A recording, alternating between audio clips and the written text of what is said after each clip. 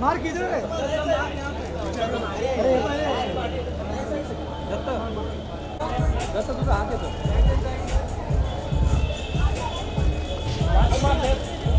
Wait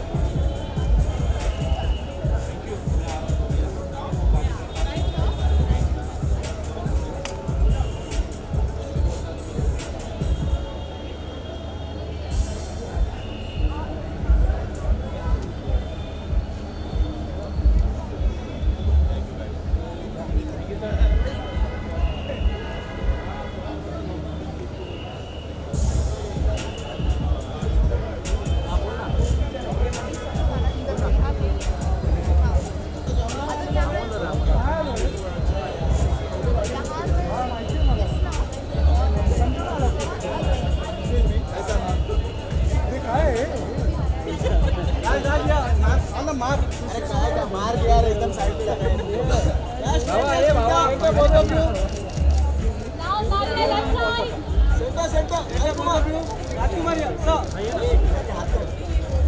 राजकुमार बाबा बाबा एक minute हाँ बाबा कर दिया है से सेंटर लेफ़्ट साइड या या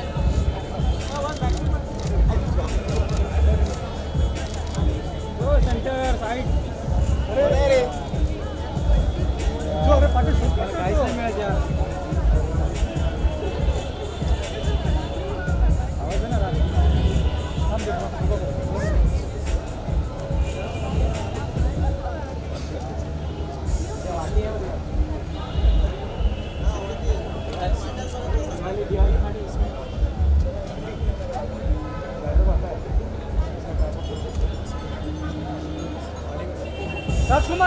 बोल विजुअल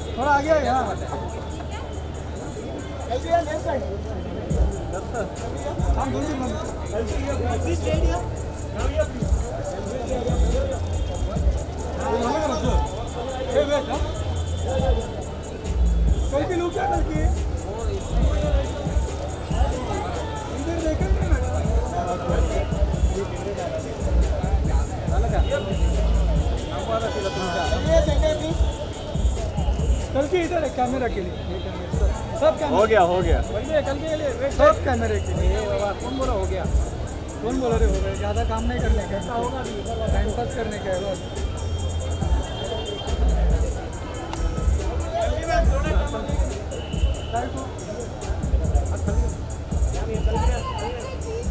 कल की वीडियो वीडियो के लिए अरे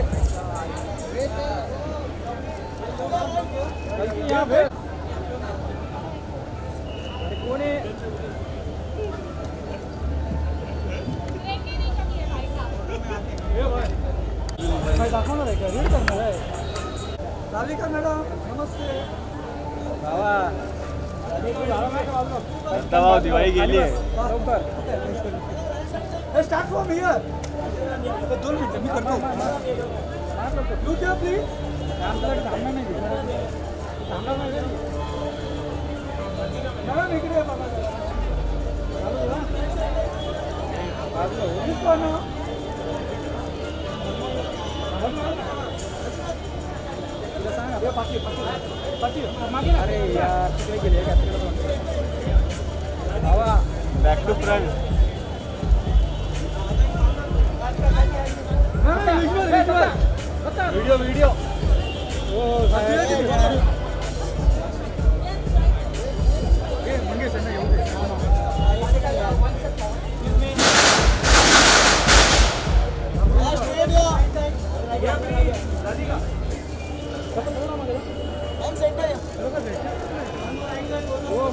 खाली बसा लवकर हे। रज़ी त्यांना घेऊ दे रे लय राधिका पण विज्युअल अरे झाला झाला व्हिज्युअल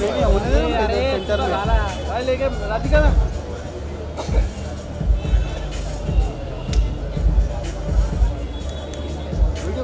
हे विज्युअल हा।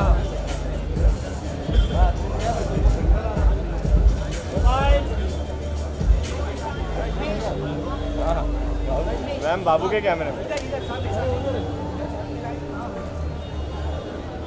मेरे को भी मिल। कर दूँ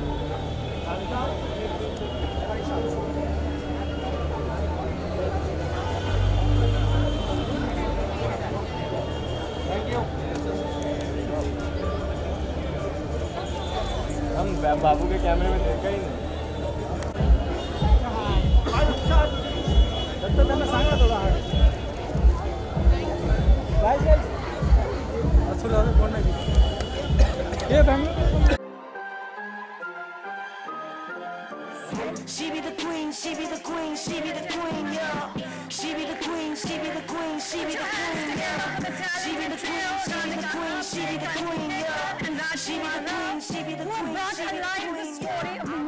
Queens of Mumbai using only the power of voice for Audible's launch in India.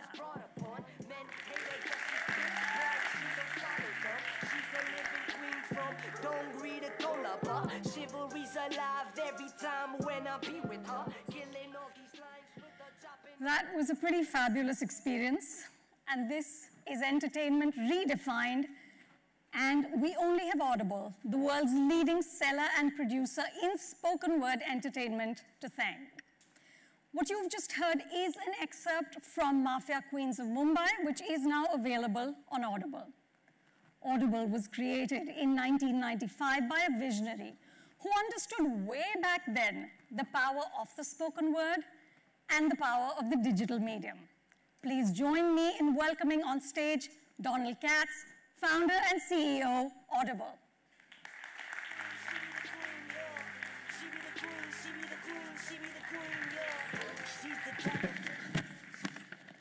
Well, hello everyone, and thank you for coming. It's, uh, it's an honor to be here. So for years I was asked uh, why so many millions of people around the world are listening to Audible as they are right now, millions of people. And I would simply say, who wouldn't want Colin Firth or Kate Winslet or Nicole Kidman or Scarlett Johansson to tell them a story while they're driving to work or exercising or doing things around the house? And now I can say, who wouldn't want Radhika or Kal- Kalki or Raj to, uh, to tell them a story, particularly during a time of the day when their eyes are busy, but their ears and their minds are free to experience the music and language and the power of well composed words that are artfully performed by great actors, as you just heard. A recent study of the neuronal responses in the brain that was done actually at the University of London, Kalki's alma mater, and, and mine, although a few years earlier than her. Uh, I, um, the, the University of London study showed that the seductive intimacy of listening to Audible and the emotive power of listening, it actually exceeds the, uh, the, the power of film on a neurological level. And actually, we, were, we weren't surprised. So today we formally bring Audible service to India. And I say formally because we've had so many, tens of thousands of Indian listeners for years who are paying up to $15 US to listen, and now they can pay the equivalent of less than $3 here in India. So for me, this is a day that's been a, a long time coming and, uh, and really a dream come true. In in the spirit of a dream coming true, it was back in 1994. I was still an author and a journalist um, for more than 20 years, and I was also someone who loved and actually studied the, the sound of words.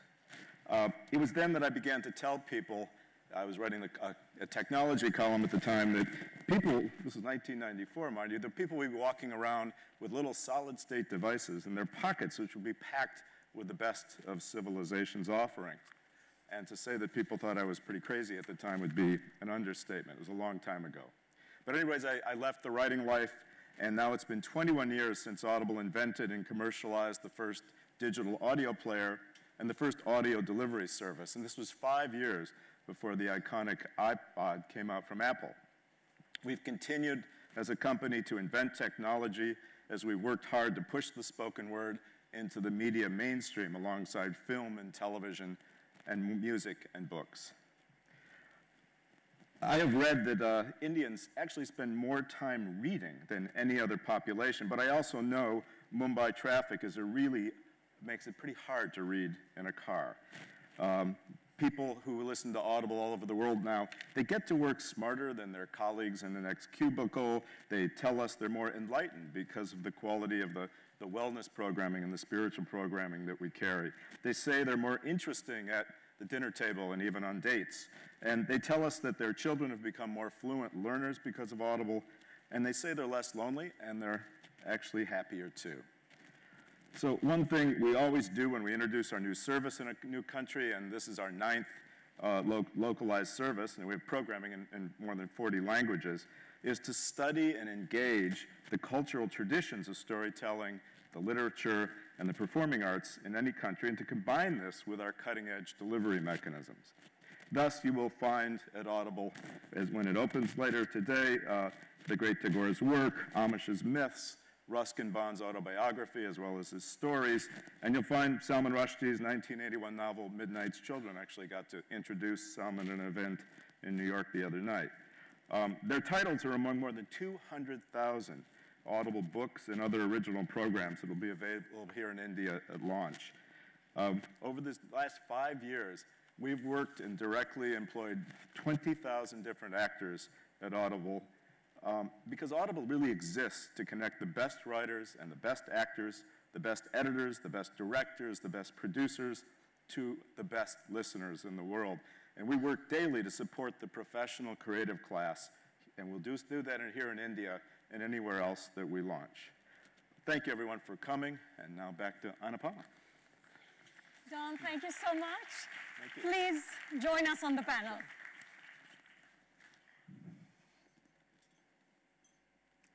So I'm super excited to be sitting here with all of you. Uh, I want to spend the next few minutes talking about, of course, your experience with making this, this audio book and, and on your plans for what is going to happen now uh, in India with Audible.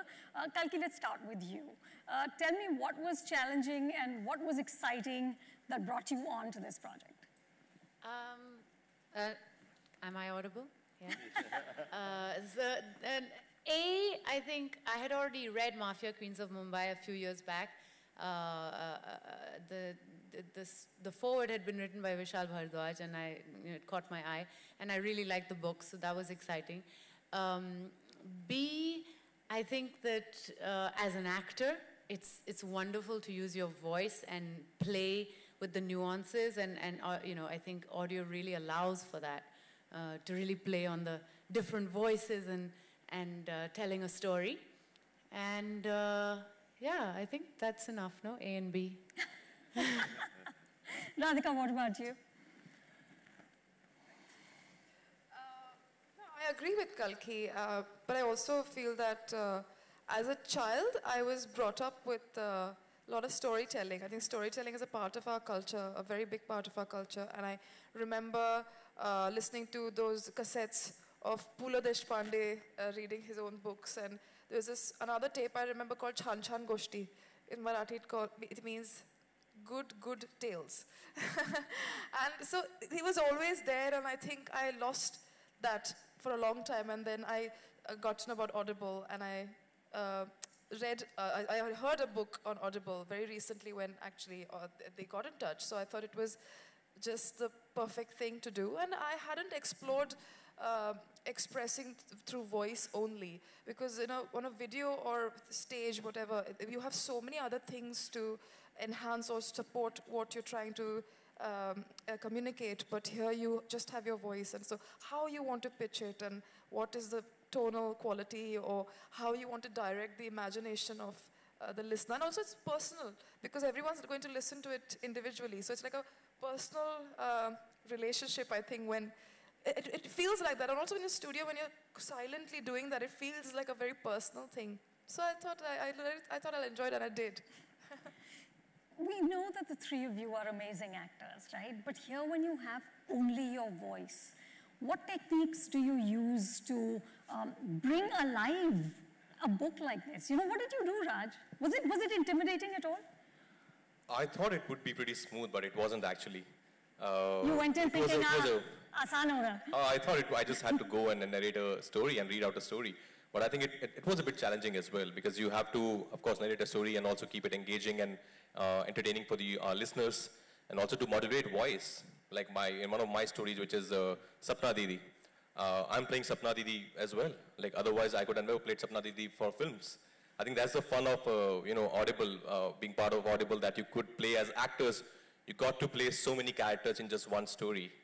And also just the idea, uh, I was really excited that I had to do a solo performance where I could only use my voice and modulate everything through my voice.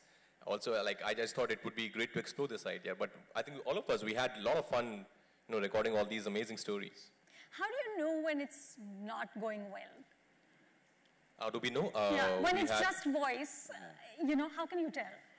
Uh, no, we had we had amazing amazing people who were guiding us, uh, and uh, uh, also you could hear it. You could hear it. You could uh, hear And- it. and you listen can- to your you re- know. you could listen to your takes and then figure out if it's working or not. If it's, uh, it's it has that kind of impact or not that you wanted to create. And also when you get like a pronunciation wrong like eight times, like, you know, Mahalakshmi Pappamani, it takes you a while. Now I can say it really well, Mahalakshmi Pappamani. But in the beginning I was saying Papa Mani and all sorts of things. So yeah. Don, Audible has, of course, collaborated with some of the greatest actors in the world. What is your impression of what our actors have done? I just, it's been fantastic to talk to them today about, you know, what they saw, that they did see that is a, there's a complexity to it. I told them what many actors tell us, that um, it's like long distance running as opposed to movies, which are more like sprinting, because the intensity of this, the short shots, the, the intensity of the close-ups. But one of the thing is that some of the actors we, we hired, we, they loved the control it gave them without over, you know, too much direction. And then I have to say a lot of them also love the fact that uh, I, I learned this when I found Susan Sarandon in our studios in the, in the East, and she was apparently wearing pajamas. And she came on, basically said to me, no hair and makeup. It's such a gift to, to, to, to be able to just do it, do it in a casual way. And, uh, and the reality is, too, that um, you can fit this in. You know, the commitment levels to stars like, like these is, is, is a very intense schedule. You can fit this in in a couple of days and have another creative platform. But that's, I think, what we'll find, which we've found, is the actors now are coming to us in droves. It's, uh, you know, never forget when that- when Annette Bening basically kind of attacked me at, a, at an event saying, everyone in Hollywood's working for you but me, what's wrong with me? And I said, well, you can actually do it too. So she was in the studio the next, next week. And I think when it gets going in India, it's such a particular art form and a particular kind of storytelling tradition that um, many, the most creative people in any culture will come to it. But that's what happens with technology when new things happen. The invention of television, the invention of radio, they often call them golden ages, and, and we're experiencing this globally now. Did you guys enjoy that? No hair and makeup? Oh yeah, for sure. for sure. I think one day I came in after a jog, like fully sweaty and everything, and went straight in, which was great. Yeah, actually, once I, I went cycling. Yeah, my driver was not there and the car was not there, and I thought, let me just cycle. Yeah. So, was there an excerpt or one story from Mafia Queens that really appealed to you, for any of you? Um, yes. Uh, is this working? Yeah, now it's working. Uh, there's Gangubai's story that really appealed to me. That's one of the stories I read. Mostly because I think that time in Mumbai, I mean, it's my home now, and I, I'm not really aware of how it, would have been. And I think all the mafia stories that I've seen so far are predominantly about men, and women just sort of have the secondary position. But this, these stories are about women. And Gangubai, especially, I think she was a victim of, you name it. I mean, betrayed, tried, like, made into a prostitute, like, here she had to do, blah, blah, blah. And she just did not victimize herself. And she stood shoulder to shoulder with all the dons and made her voice heard to literally the people governing the country. And it's such an inspiring story and a very compassionate woman. So um, it was fascinating reading her story, I think. For you, Kalki? Um, I like some of the shorter humorous stories. There's uh, this character, uh, uh, this person, Chota Shakil, who was in Dubai and he had a, a lover girlfriend called Rubina in Bombay. So they would have these email interactions where, you know, uh, they're talking about business and have you gone and picked up this thing from that person? And, uh, and in between it was like, Mary Jaan, da da da da da da. And so there's this like weird interaction uh, that these women, he was having several affairs actually. Uh, and each of his affairs he was saying Mary Jaan too. And it, it, it's quite funny, those stories are quite funny. Radhika, how has the Audible experience been for you? Like, what, what do you think of the diversity that the app offers? I think uh, it's it's it's. I mean, uh, uh, it's just launching here, but I mean, I think otherwise, you take any genre, you take any kind of information you want to uh, listen, like uh, uh, know, or you want to have any subject, and also the people who are reading it are, are incredible performers or writers reading their own material as well. So it's it's it's completely very very diverse, and uh, now that I've had a taste of it, uh, and I'm, I'm sure there's a long way to go, and you know a lot of practice needed. But I think now I'll listen to it with a different perspective, uh, and see what works for me, what doesn't work, and how effective. Why is it effective? And um, I know that they're launching a lot of Hindi um, uh, books as well. I'm really looking forward to that because I I studied in Marathi and then I studied in English. So I have read, read Marathi books and I've read English books, but Hindi I understand perfectly well. But I don't read it very fast, and now I can actually. Uh, I have a very convenient way of uh, read, knowing the literature and certain books that I've been wanting to know. Did you three sort of learn anything during this experience that now you'll take back to your craft as you do other things, movies, plays, everything else? Subtlety.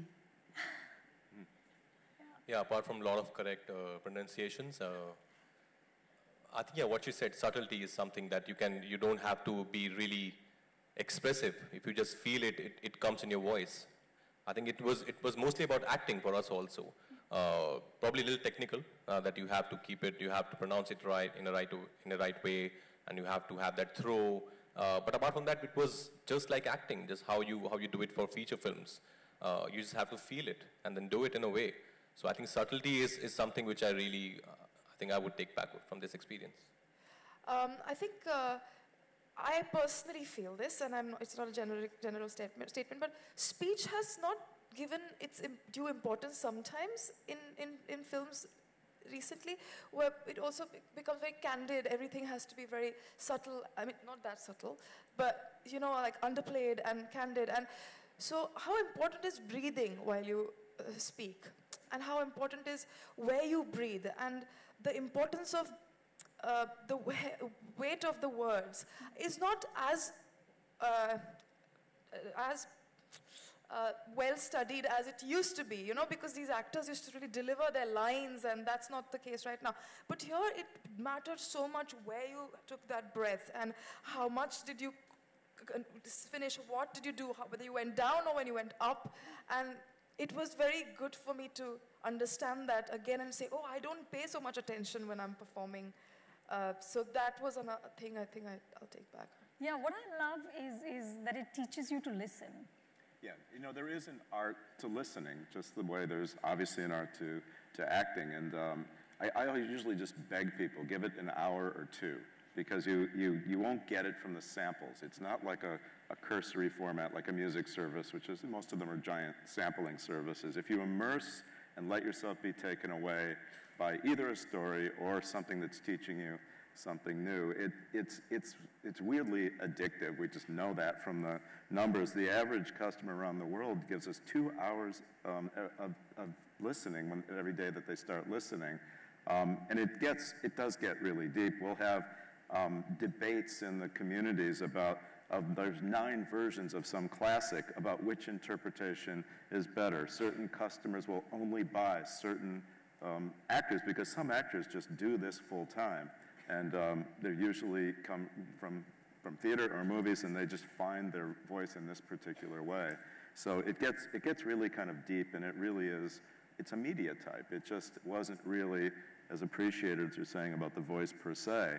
And the, the, the way they act involves nuance and subtleties and prosody.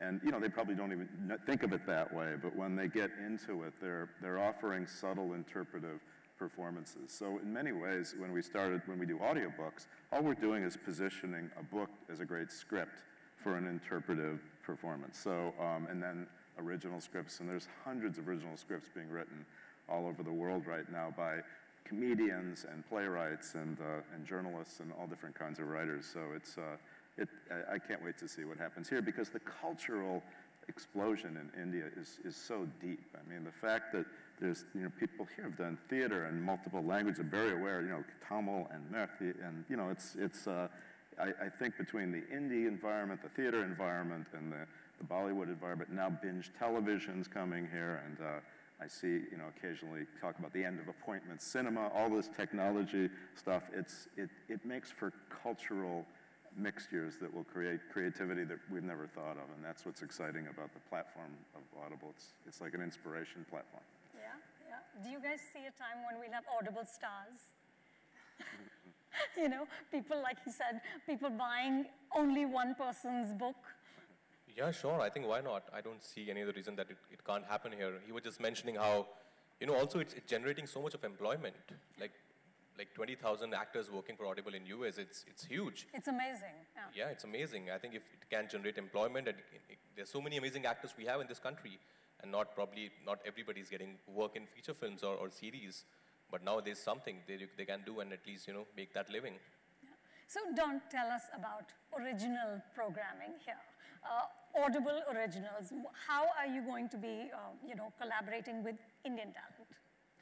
basically exactly the same way. So it's, you know, it, it's whoever has the best idea. It can be from this amazing production community here. The, there's people in the audience who, who run production houses. There's producers and directors.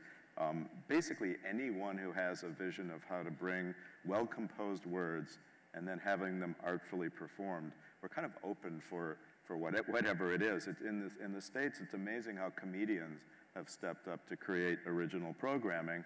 I mean, for various reasons, comedians are now probably one, some of the most trenchant observers of our discourse of politics, so, such as it is. And, uh, and I think that, uh, um, but that's, this has always really happened. I mean, most American comedians got very famous because of their television roles. They talk about stand-up as their primary art form, but the truth is, you know, Jerry Seinfeld and Robin Williams became who they were by transferring their talent to new media types like the sitcom.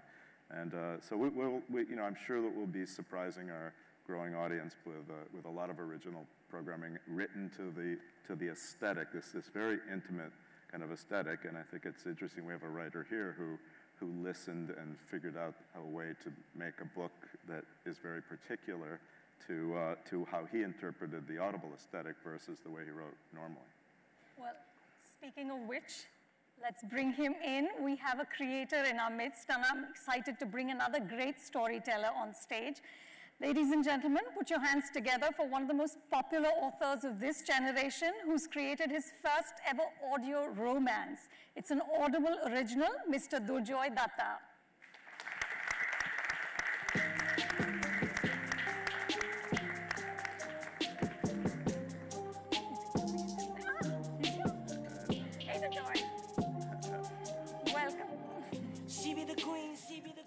Congratulations on your Audible original. And thank you. Tell us, uh, when you're when you're writing specifically for Audible, how do you think you can increase romance using just voice? I think I think when you switch from uh, switch from just writing to say an audiobook, it it heightens every emotion. It's not just romance; it heightens every emotion. So. Uh, when I was writing it, of course, it's a new medium, it's a new format, so it was a bit challenging. But as I went in a few chapters, it sort of felt like I was having a conversation with a listener. It was, it felt like I was confiding in my listener. It seemed like it was more like a love letter to my listener. So, so that at that point in time, it became very interesting for me, and that is the that is the time that I got really sucked into writing it. And I, and I just think that, you know, generally when I, when I write the last few chapters, my job ends. But this time we recorded it and I, ju- and I heard it. And when I heard it, I was like, this has a new dimension to it. You know, it's like my work has come to life. It's, it's, it's, it's a little different from how I wrote, and it's a different in a, in a good way. So I think that really changed it for me. I think, I think that was really interesting. Um, what can you tell us about this romance? What can you reveal? Okay, I can't, I can't give You you. can't tell us Yeah, anything. yeah, of course. But uh, the title is um, "The Last Boy to Fall in Love." It's it's a dystopian fiction. It's or a sci-fi romance or speculative fiction or whatever you might call it. Uh, it's different from anything else that I've ever done. For the last ten years, I've been writing romance stories which are rooted in reality. This one has fantastical or fantasy elements to it, and that is where I think it sort of blends in with this uh, with this format because when you're trying to sell a story which is not rooted in reality, you need other dimensions to make you believe in that story, to buy into those characters and to buy into their journey. And uh, it's been narrated by Sikandar Kher and Rasika Duggal, and they have done a brilliant job. It is much better than the way I wrote it. Uh, so I really like the way they've narrated it, and and and I myself, because whenever I'm writing something like this, and I've attempted this a lot of times before, whenever I'm writing like this, I don't believe the story myself. But when I heard it back, I was like, yes, now I. You believed it when they read Yeah, it. I now I believe in this story. This this world really exists. So, yeah. But tell me, Duja, what would you do differently because it's an Audible original? So the first thing when I started writing the stories, I read a lot of Audible books, and I realized that the books that worked for me personally were the ones that were written in first person because that is when it's a direct one-to-one conversation. Because when you go into a third-person story, it it sort of becomes one to many. So that is the first thing that I did that I wanted it to be an intimate conversation because you are in someone's ear for the next four, five hours. So you have to be that much more intimate, you have to be that much more personal, and you have to not self-indulge so much. You ha- your primary goal is to make that person not take out his earphone for the next four hours. So yeah. Is the language different? the only difference that I did, I, I, I, I sort of did not try to uh, overextend scenes because I needed it to be a little snappier than usual. That's the only difference that I, I did not dump it down just because, you know, you're hearing it. Right. I just made it a little more snappier. It sounds very exciting and can't wait to listen to it. Um, thank you, everybody. Thank you to all of you, Radhika, Rajkummar, Kalki, Durjoy. Uh, from Team Audible, big thanks to all of you for creating what you have. And a personal thanks to you. Um, I have to share with all of you that I you know, had, of course, heard of Audible, but I hadn't experienced it until very recently. And the one thing I really wanted in my life was more books. And it's just, I don't know why, but it just wasn't. As a working mother, it would never happen. And I've been on Audible for about three days now, and I'm halfway through a book. So thank you. Big personal thank you. Um, Ladies and gentlemen, we have some evening festivities planned for you. I request everyone to make their way outside and enjoy the rest of the evening. Make sure you try the nooks and explore the listening pods to get a first-hand experience of Audible. The rest of us have to stay here and do some photos. Media folks, please stay back for the same. Thank you all.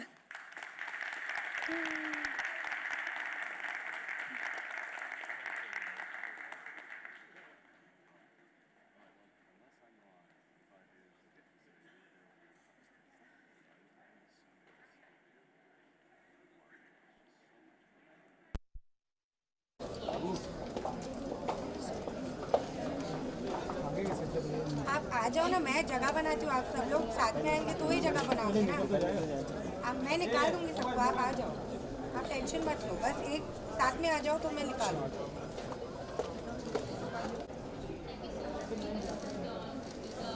चपा चले। प्रश्न विचारना कौन है? हाँ जी। हाँ कौन कर रहा है? उन्होंने तो बुलाया बाइक के लिए। कोई नाही करत चलो। अरे मी मराठी केली काय पूछू?